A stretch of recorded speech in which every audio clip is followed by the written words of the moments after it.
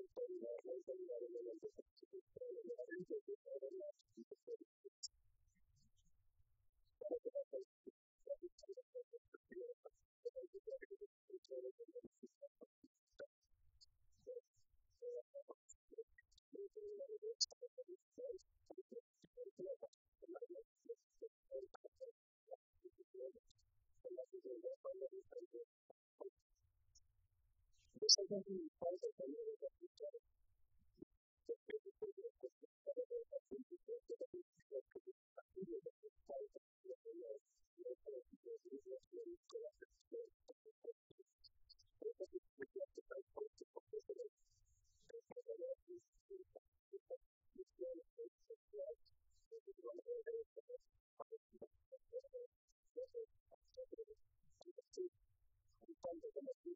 Thank you.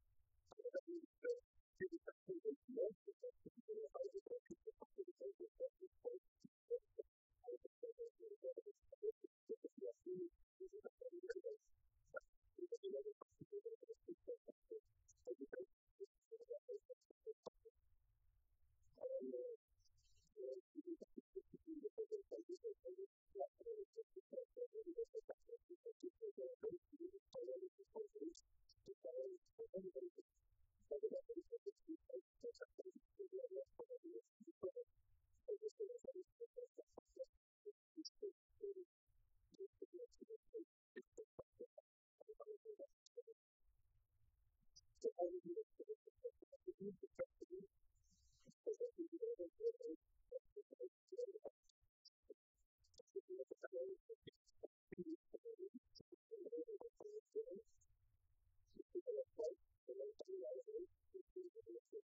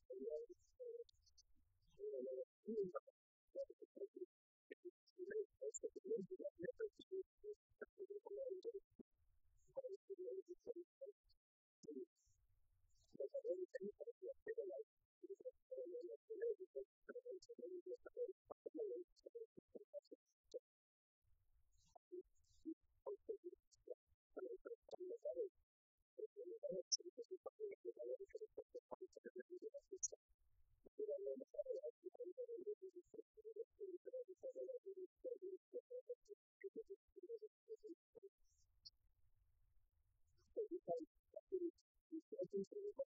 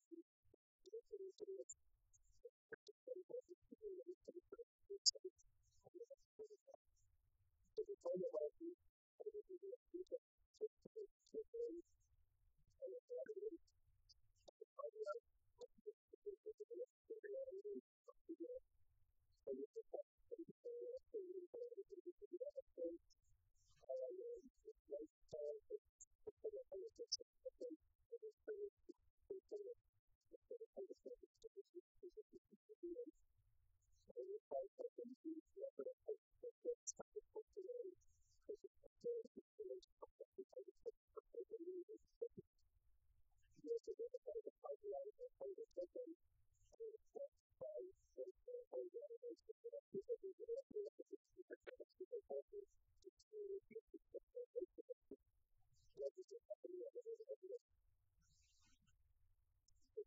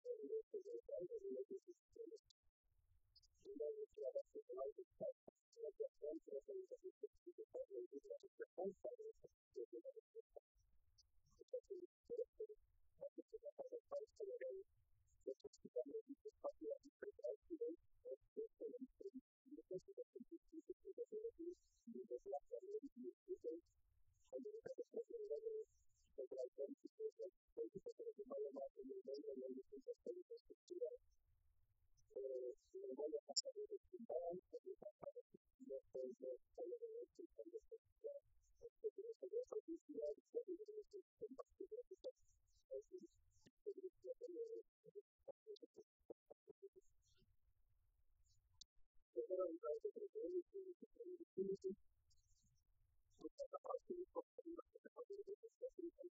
you.